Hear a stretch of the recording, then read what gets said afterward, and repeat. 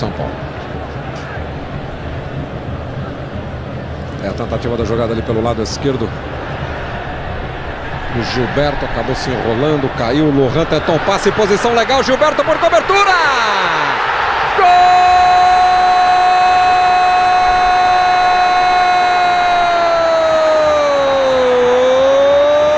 do São Paulo! Um minuto e vinte foi o tempo que o São Paulo precisou para abrir o placar. Posição legal, me pareceu, ali na mesma linha do Anderson. Gilberto teve muita calma, deu um tapa por baixo da bola, tirou do goleiro. Cavadinha, o São Paulo sai na frente.